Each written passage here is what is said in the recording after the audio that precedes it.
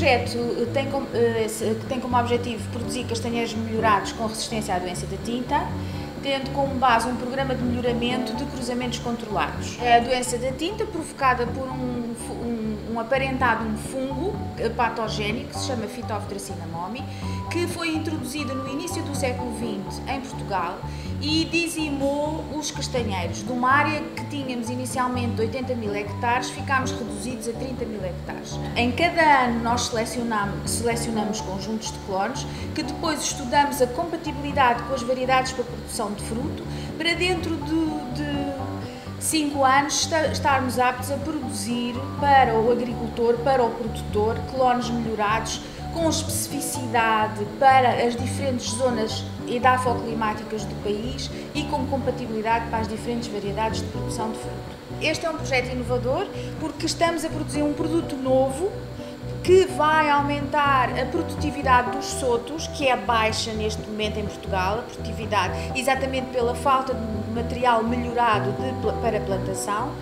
e, consequentemente, aumenta a, a rentabilidade da produção, da exploração agrícola do agricultor.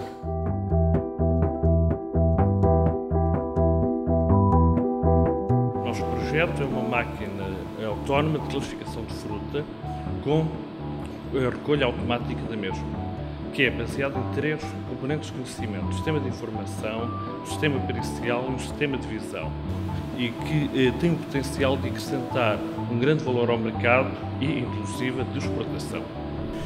A inovação da, da, nossa proposta consiste na integração de várias peças de conhecimento e na integração de tecnologias low cost e open source. Uh, isto permite evitar gastos desnecessários uh, na aquisição do nosso sistema base.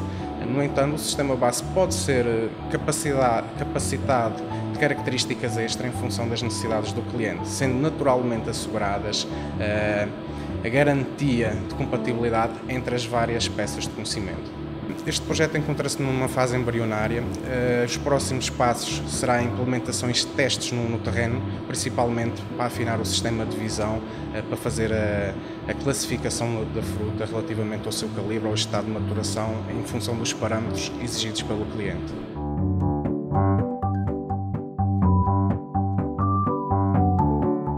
Portanto, nós há algum tempo atrás fomos abordados por um empresário na área agroflorestal que nos lançou este desafio uh, da problemática da dissolução da celulose. Pretendemos desenvolver novos solventes, mais amigos do ambiente, mais baratos, uh, que consigam dissolver de forma eficiente uh, material de origem vegetal, celulose, recursos agroflorestais, para produzir fibras com, com aplicação na indústria têxtil.